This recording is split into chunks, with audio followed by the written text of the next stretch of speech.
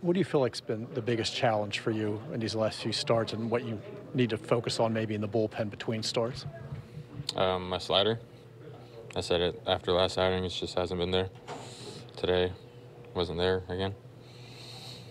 First couple of, first couple of innings, uh, you know, no runs. Then third inning started uh, sort of snowballing on you. What was the difference between the third inning and uh, first two? Um, well, it started with me not putting a guy away 0-2. Um, left a slider over the plate and hit a little jam shot into the outfield and kind of went from there. Um, but yeah, wasn't putting guys away in that inning and then gave up some soft contact and then gave up some barrels.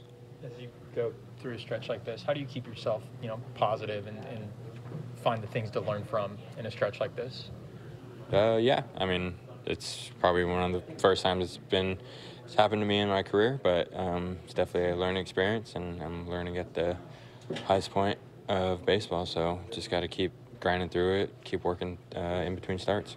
What do you feel like you've learned maybe about yourself as a pitcher through this stretch? Um, that I am capable of pitching at this uh, at in the big leagues. Um, I try to think back to my debut and then the St. Louis start.